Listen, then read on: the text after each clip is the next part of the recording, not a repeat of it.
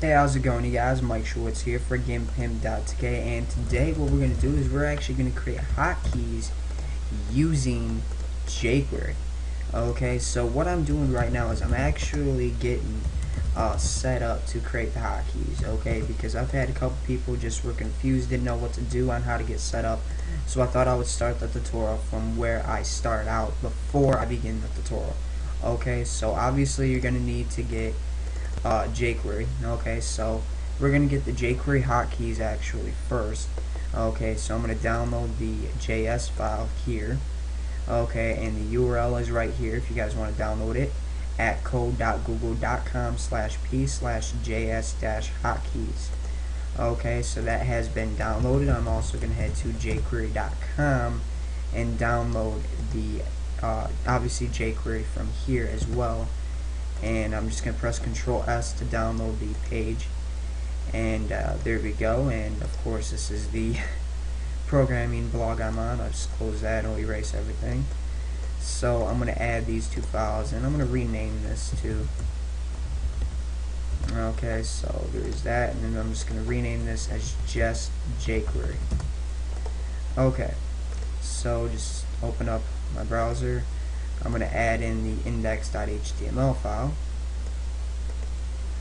And before we begin, let me point out something real quick that the hotkeys that we can use, we cannot use hotkeys that are built in the browser. Like I can't use Control T, okay, because that opens up a new tab. Also, I can't use Control L because that will just go to the URL bar, okay. Uh, Control W obviously closes a tab, so you can't use hotkeys that are implemented into like the browser here. Okay, but you can still use you know custom hotkeys like Control Q, Control Y. Okay, not Control R because that refreshes the page, refreshes the page, but Control Y you can. Okay, so let's go ahead and begin how to create hotkeys in jQuery.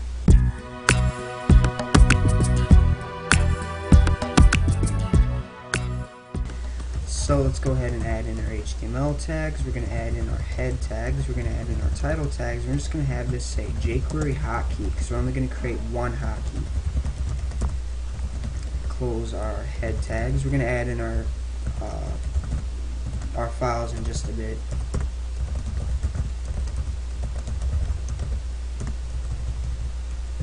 Okay, save that real quick.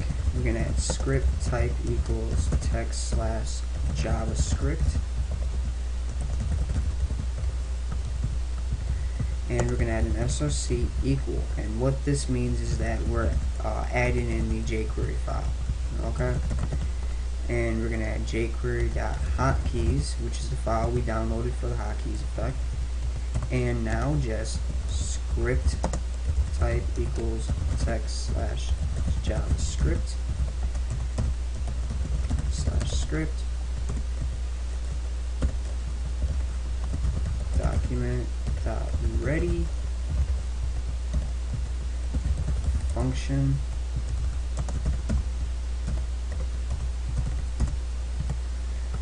And now what we're going to do is we're going to use bind okay to create this effect. So dot bind. And what we need to do is we need to state that we're going to create a key down and when a key is pressed we need to specify what the key will be. So I'm going to actually use just control Q for this uh, hotkey and we're actually going to need to create a function okay? Okay and the reason why we have to create a function is because we need to state that when this this hotkey is pressed it needs to do something. Because right now it's not doing that we need to tell it to do something. So we're just gonna have it open up an alert box why? Because it's the easiest thing you can do. And all we're going to just have it say is, you found the hotkey. You found the hotkey, not you found the hotkey. There we go. F5 to refresh, and let's press Control Q, and there we go. Okay, hopefully you guys enjoyed this video tutorial, and feel free to check out GimpPimp's Facebook fan page at gimppimp.tk slash Facebook. Feel free to check out gimppimp.tk for more GIMP tutorials, coding tutorials, and that. And uh, feel free to subscribe if you haven't already done so.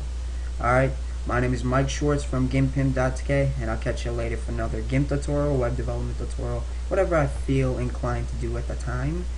And uh, as you guys can see, it's 11:43 p.m. So I'm gonna go to bed. All right.